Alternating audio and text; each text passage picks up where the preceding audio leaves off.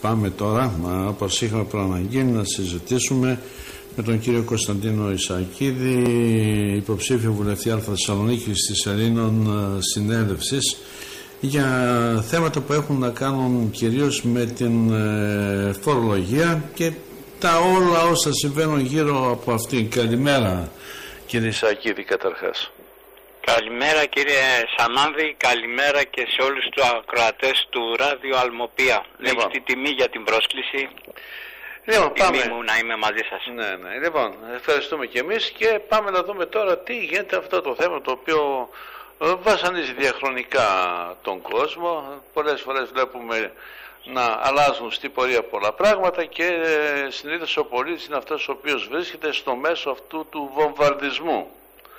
Σας Έτσι ακριβώς κύριε Σαμάνδη, ο Έλληνας σήμερα εκτεθειμένος σε μια σύγχρονη ασφικτική μνημονιακή κοινωνία, κυνηγημένος από εφορίες, από τράπεζες, από λογαριασμούς, αυτήν την ενέργεια που βλέπουμε που συνεχώς αυξάνεται και επιβάλλονται μέσω αυτής τέλη πρόστιμα προς αυξήσεις, πριγμένως βαδίζει σε ένα μέλλον ε, με άγνοια, χωρίς γνώση για το τι θα συμβεί και κάθε φορά ευνηδιάζεται δυσάρεστα σε όλη αυτή τη διαδικασία και δεν μπορεί να αντιμετωπίσει όλα αυτά που έρχονται στην πλάτη του κάθε φορά.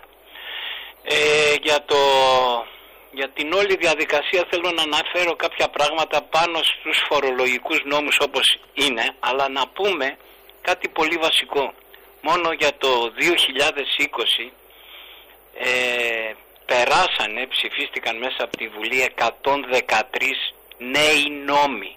Η μισή και παραπάνω κύριε Σαμάδη είναι φορολογικοί νόμοι. Ε, πέρα από αυτήν την διαδικασία των νόμων έχουμε άλλες 196 τροπολογίες οι οποίες οι μισές και παραπάνω είναι πάλι εκπρόθεσμες και επιβάλλονται στην πλάτη του ελληνικού λαού. Ε, για, το, για τη γνώση των ε, ακροατών μας θέλω να πω ότι δεν χρειαζόμαστε μόνο έναν λογιστή για να μας ετοιμάζει και αν θα προλάβει αυτός να μας έχει όλες τις διατάξεις, όλες τους νόμους, όλες τις εξουδοτήσεις που περάσανε με υπουργικές αποφάσεις για την περσινή χρονιά και μιλάμε για έναν αριθμό που είναι πάνω από 2.000 εξοδοτήσεις και έχουμε στην ουσία κάθε δύο με τρεις ημέρες έναν καινούριο νόμο ο οποίος είναι πάνω από 10 με 15 σελίδες για να αναγνωστεί κύριε Σαμάνδη. Είναι πολύ σημαντικό να ξέρουμε ότι για το έτος 2020 ο συνολικός αριθμός είναι 10.302 σελίδες νέοι νόμοι. Η μισή, όπως σας είπα προηγουμένως, είναι φορολογική. Πάμε όμως τι έγινε σε αυτούς; Ψάξαμε για να δούμε αν αυτοί οι νόμοι είναι υπέρ του λαού. Αλλά δεν βρήκαμε κανέναν. Και θέλω εδώ σε αυτό το σημείο αν μου επιτρέπετε ναι, ναι. να αναφερθώ στο άρθρο του συντάγματος, το πρώτο άρθρο του συντάγματος και το δεύτερο, με δύο προτάσεις. Δεν είναι τίποτα βαρύ και χρονοβόρο. Το πολίτευμα της Ελλάδος είναι προεδρευμένη κοινοβουλευτική δημοκρατία, το θεμέλιο του πολιτεύματος είναι η λαϊκή κυριαρχία και όλες οι εξουσίες πηγάζουν από τον λαό και υπάρχουν υπέρ αυτού. 10.000 σελίδες εναντίον του λαού στο να τον αφεμάξουν και να τον υφαρπάξουν μέσα από την τσέπη του όλη τη δημιουργία μια φορολογική και δημοσιονομική διαχείριση που δεν έχει κανέναν έλεγχο γιατί όλα αυτά που μαζεύονται κύριε Σαμάνδη δεν ξέρουμε που πάνε και δεν έγινε 200 χρόνια τώρα από τότε που υπάρχει αυτό το κράτος κανένας μα κανένας έλεγχος. Ο ένας παίρνει την εξουσία από τον λαό και την παραδίδει στις επόμενες εκλογές αν χάσει στην εκλογική αναμέτρηση το μόνο που κάνει σε όλη αυτή τη διαδικασία διαχείρισης να επιβάλλει νέους νόμους, ξανά νέους νόμους και άλλους νέους νόμους και φτάσαμε στην διαδικασία τουλάχιστον αυτά που ζούμε και γνωρίζουμε τα τελευταία 10 με 12 χρόνια με την επιβολή των μνημονίων και μια διαδικασία που πλέον οι βουλευτές μας δεν ψηφίζουν τους νόμους κύριε Σαμανδή αλλά τους έχουν έτοιμους τους οποίους τους φέρνουν προς γνώση και ενημέρωση για συζήτηση δηλαδή για να μπουν εκεί μέσα στη Βουλή και να μαλώνουν μεταξύ τους γιατί έτσι έχει επιβάλει όλη η διαδικασία να παίζουν ένα κουκλοθέατρο αλλά να μην κάνουν τίποτα υπέρ του ελληνικού λαού παρά μόνο να ξαναδανίζονται για να ξοφλήσουν την κακή διαχείριση που κάνανε όλα αυτά τα χρόνια. Μάλιστα. Λοιπόν, είναι γνωστό ότι υπάρχει αυτή η πολυνομία. Φαντάζομαι και ούτε και αυτή η, η καθήλυν ε, δυσκολεύονται να τα αντιληφθούν όλα αυτά. Βέβαια, ό,τι είναι αποτελεσματικό για το κράτος το, το εμπεδώνουν πολύ γρήγορα. Το θέμα είναι τι γίνεται με τους πολίτες. Οι πολίτες είναι αυτοί κύριε Σαμάντη οι οποίοι πληρώνουν. Είναι δεδομένο ότι 200 χρόνια από την ύπαρξη του κράτους μας βάλανε σε μια διαδικασία υποδούλωσης. Ε, δεν είμαστε ελεύθεροι και είμαστε υπήκοοι υπάκοοι βάσει του συντάγματος όπως αναφέρθηκα προηγουμένως στο να μας φέρνουν τους νόμους με τις όποιες διαδικασίες. Και εμείς το μόνο που έχουμε να κάνουμε είναι αφού έχουμε λάβει γνώση γνώση όπως είπα προηγουμένως σε 10.000 σελίδες ετησιοποιημένα τι γνώση να λάβεις.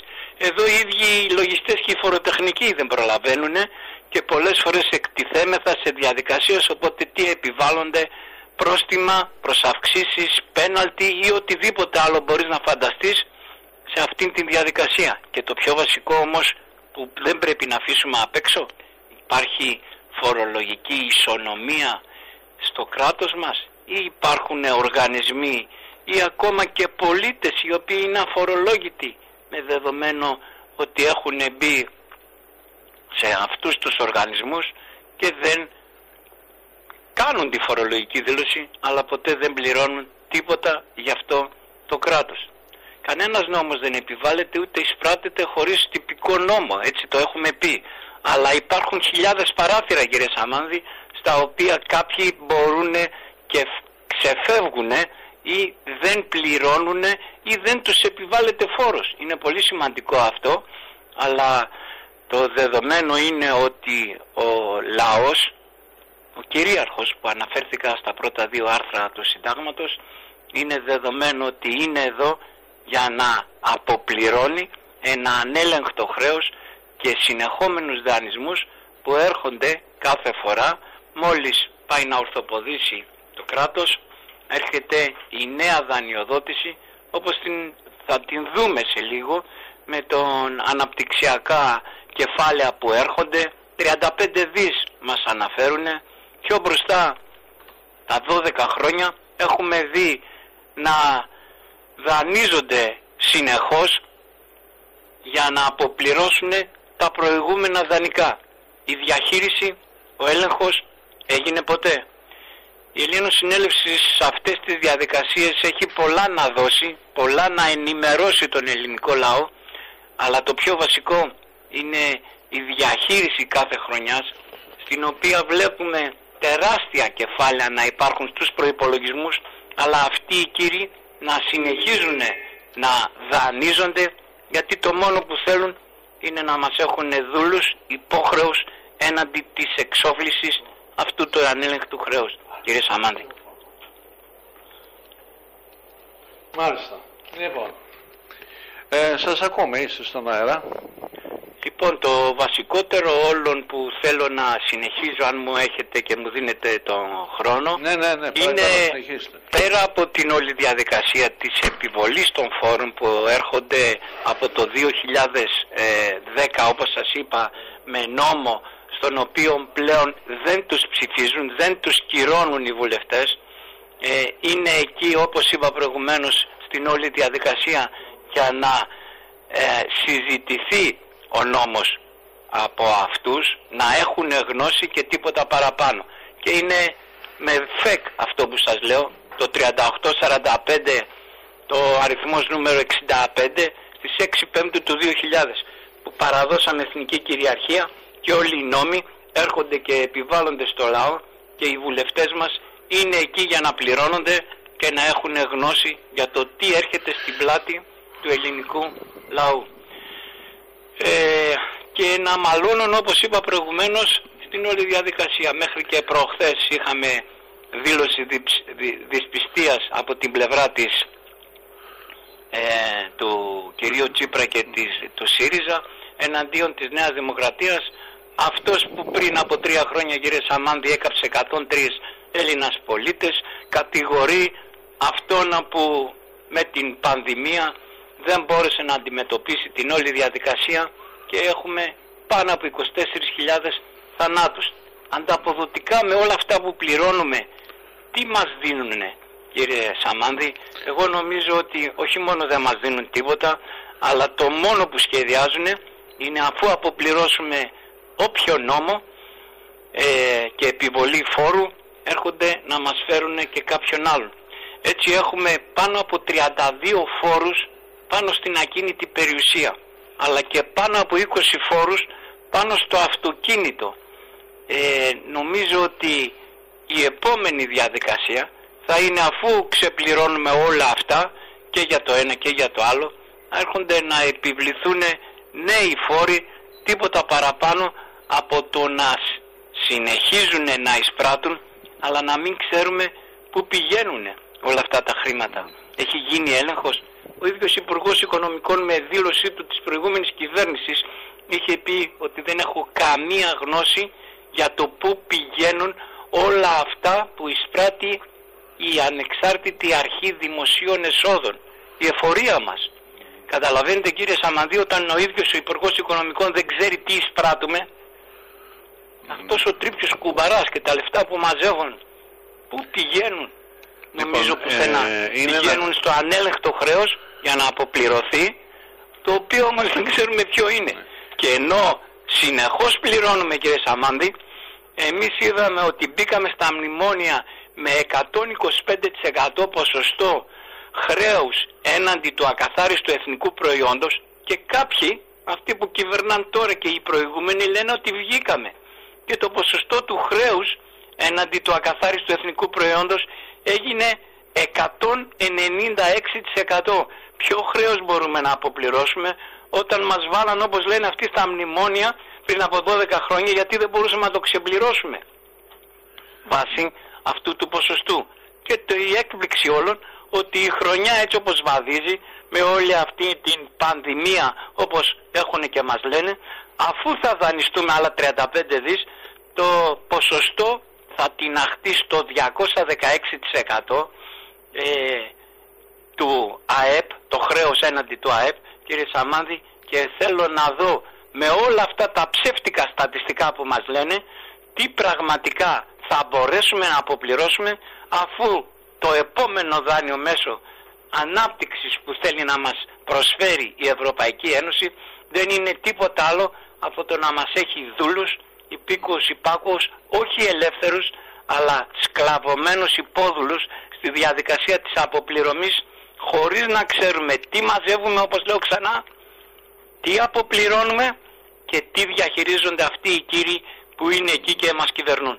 Πάντως το θέμα τώρα το φορολογικό, ε, όπως το περιγράψατε και όπως είναι, βλέπουμε και τους πολίτες κατά σχεδόν 100% να μην είναι ευχαριστημένοι όλων των ε, ε, τάξεων, εκτός από ορισμένους βέβαια, αλλά βλέπουμε να συνεχίζεται το ίδιο πράγμα και πώς μπορεί όλη αυτή η ιστορία να αλλάξει τελικά, έτσι ώστε να υπάρχει ένα σύστημα φορολογικό, φορολογικά δίκαιο και να μπορεί και ο πολίτης να πληρώνει και τους φόρους του, έτσι να μην βαρύγει για να μην ψάχνει και τρόπους να φοροδιαφεύγει. Έτσι ακριβώς. Η πολυνομία κύριε Σαμάνδη είναι δεδομένο ότι φέρνει σε μια διαδικασία όλους τους πολίτες να ψάχνουν διεξόδους με παράνομους τρόπους ε, να αποφύγουν είτε τη φορολόγηση είτε να δώσουν πλασματικά στοιχεία έναντι των εισοδημάτων τους. Γιατί ακόμα και αυτά δεν υπάρχει φοροδοτική ικανότητα πλέον σε αυτήν την φορολογική ληστεία από την πλευρά της των κυβερνώντος. Δεν έχουμε κάνει ποτέ έλεγχο. Από εδώ ξεκινάμε με την Ελλήνων Συνέλευση να δώσουμε τα πραγματικά στοιχεία. 200 χρόνια πίσω μπορούμε να πάμε όλες αυτές οι δανειακές συμβάσεις πώς έγιναν, τι πήραμε, τι πληρώσαμε. Μην ξεχνάμε ότι την Επανάσταση την ξοφλήσαμε κάπου στο 1990, τα δάνεια της Επανάστασης. Καταλαβαίνετε ότι οι κύριοι λένε ό,τι θέλουν. Καμία απόδειξη δεν μας δίνουν όμως για το τι πραγματικά έχει γίνει 200 χρόνια τώρα. Ο έλεγχος μπορεί να βάλει τα πράγματα στη θέση τους και να ξεκινήσουμε μία διαδικασία, κύριε Σαμάνδη, στην οποία πραγματικά το τι μπαίνει μέσα όχι μόνο να το γνωρίζει ο κύριος Υπουργός Οικονομικών αλλά και όλοι οι πολίτες γιατί όταν γνωρίζουμε το τι μαζεύουμε, τι στέλνουμε, τι αποπληρώνουμε νομίζω ότι μπορούμε κάλλιστα να μην κρύβουμε στον ελληνικό λαό όλα αυτά που πραγματικά έχουμε μέσα στην δημιουργία μας αλλά και μέσα στους προϋπολογισμούς μας που αυτοί ψηφίζουν. Υπάρχουν 600 δις κύριε Σαμάνδη στους προϋπολογισμούς αλλά οι κύριοι δεν τα χρησιμοποιούν. Μια Ευρωπαϊκή Ένωση μπαίνει σε μια διαδικασία να μοιράσει ένα τρισεκατομμύριο σε όλες τις χώρες της Ευρωπαϊκής ναι. Ένωσης για αναπτυξιακούς σκοπούς. Κύριε η Ελλάδα έχει μόνο 600. Ναι, ναι, να, να ρωτήσω κάτι σε αυτό το Παρακαλώ. θέμα. Γύρω στα αυτά για τα 600 δις που λέτε, υπάρχει από το σύστημα μια αμφισβήτηση με παπαγαλάκια βέβαια, επισήμως δεν, δεν έχει ακουστεί κάτι. Τι γίνεται με αυτό; Η αμφισβήτηση είναι σε ποια δεδομένα. Όταν ο ίδιος Υπουργός Οικονομικών, ο ίδιος Υπουργός Δικαιοσύνης και ο πρόεδρος της Δημοκρατίας υπογράφει τον προϋπολογισμό του κράτους και φαίνονται οι υπογραφές κύριε Σαμάνδη, όποια παπαγαλάκια και να φωνάξετε, ας τα φέρουμε σε μια διαδικασία αντιπαράθεσης, αλλά και όπως ακριβώς είπε ο πρόεδρος της Ελλήνων Συνέλευσης Αρτέμις Ώρας, φωνάξτε με και με τους κωδικούς εγώ θα ανοίξω τα 600 δις. Το θέμα είναι ότι όχι μόνο θέλουν να βάζουν τα παπαγαλάκια μπροστά, αλλά αυτή η διαδικασία με τον τραπεζίτη, τον Έλληνα, της Τράπεζας της Ελλάδος, δεν έγινε από το 2012 μέχρι και σήμερα, όσες φορές και αν φωνάξαμε την διαδικασία να δούμε ποιος είναι στην όλη διαδικασία αυτός που κοροϊδεύει τον ελληνικό λαό. Αυτός που μπήκε φυλακή γιατί έφερε τα 600 δις ή αυτοί που είναι απ' έξω και σαν Υπουργοί Οικονομικών, σαν Υπουργοί Δικαιοσύνης που τον βάλανε στη φυλακή αλλά και σαν πρόεδρος το μεγαλύτερο αξίωμα του πολιτεύματός μας υπογράφει τον ισολογισμό του κράτους στην επόμενη χρονιά για το τι πραγματικά έγινε και το τι χρήματα έχουμε. 600 δις με 0,5% επιτόκιο το οποίο και αυτό θα επιστραφεί όταν θα μπούμε στη διαδικασία του να αρχίζουμε να χρησιμοποιούμε για την ανάπτυξη και, και την βελτίωση του επίπεδου της χώρας μας. Θέλουν την ανάπτυξη και την βελτίωση της χώρας μας. Προηγουμένως αναφερθήκαμε ότι μας κυνηγάνε και μας επιβάλλουν άλλους 113 νόμους ετησιοποιημένα.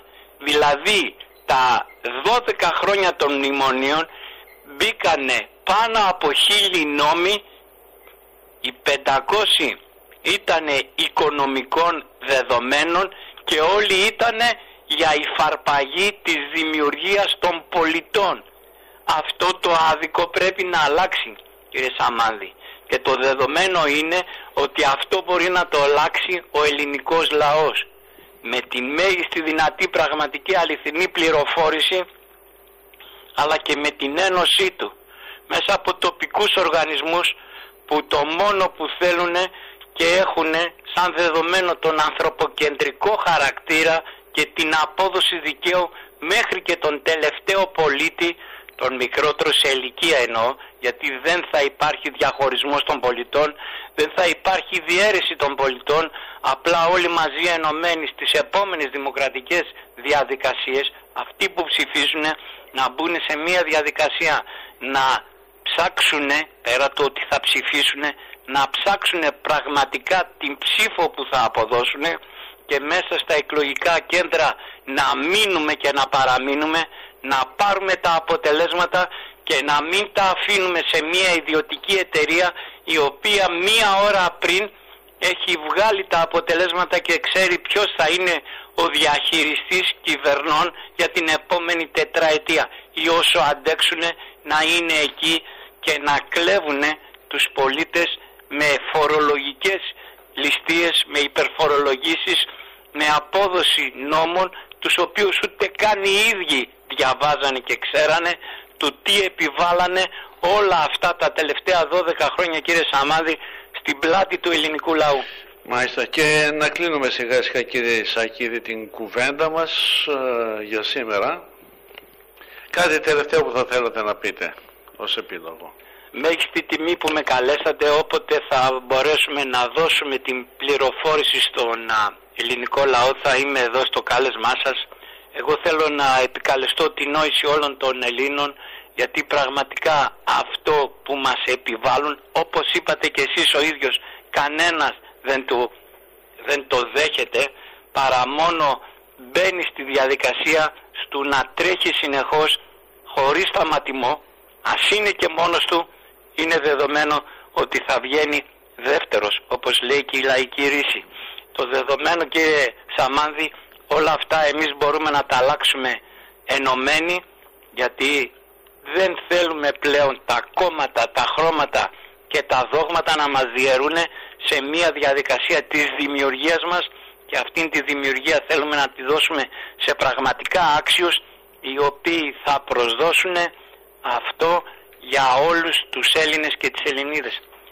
Καλό σας Καλό υπόλοιπο ημέρας. Καλό μεσημέρι, ε, κύριε Σακή. Σας ευχαριστώ. που ήμουνα μαζί σας στην εκπομπή σας. Γεια σας. Γεια σας. Γεια σας. Γεια σας.